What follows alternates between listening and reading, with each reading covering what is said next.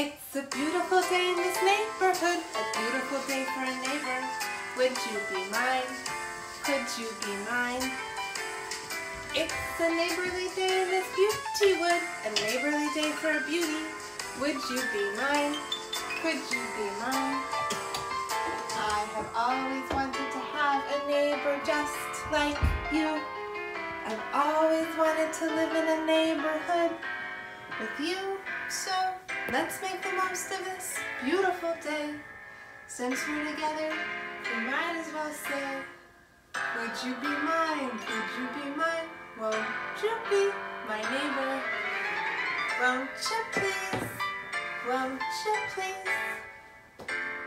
Please won't you be my neighbor?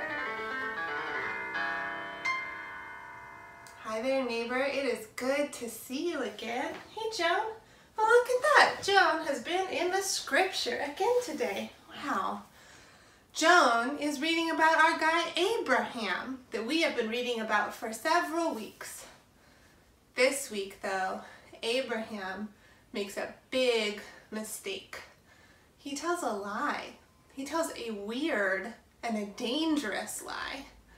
He tells Sarah, his wife, to tell King Abimelech that Sarah is just his sister. That is a weird lie. But it's a lie that puts Sarah in danger and that puts King Abimelech and all of his people in danger too. Yikes, Abraham. Have you ever told a lie or hurt someone and then tried not to do it again and did do it again? That's just what Abraham did. He had already told a lie just like this and he knew it was wrong, but he did it twice. I know I've told lies that have hurt people.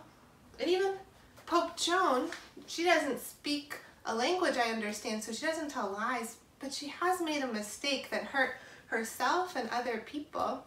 One time on vacation, she licked a frog and she had to go to the emergency room. Right, Joan? But here's the thing. God's love for us is unconditional. That means when we mess up, God still loves us. And God wants us to do better and to be better. Our God is a God of fresh starts. And to learn a little bit more about a fresh start, we need to bring in a special guest.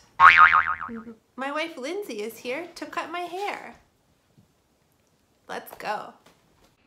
Friends, my hair is out of control. It really needs a fresh start. So Lindsay is giving me a haircut. So while she works, let's chat. Have you ever needed a fresh start?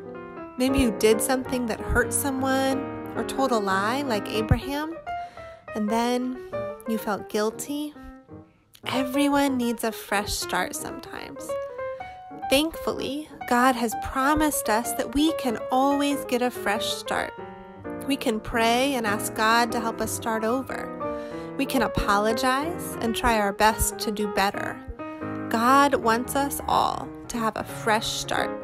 Like the feeling you have when you get a fresh new haircut, fresh and clean and ready for a new day, rid of all that keeps us from being our best selves. So, friends, know this if you are in need of a fresh start, God is just waiting to give you one. All you need to do is ask. Well, what do you think? I love it. I have a fresh start. Show him your show him your head.